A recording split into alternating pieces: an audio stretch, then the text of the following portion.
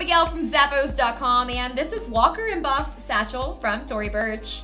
You are going to be looking super chic when you carry around this tote. It's crafted with a leather exterior and it features a cool croc embossed finish for a standout style.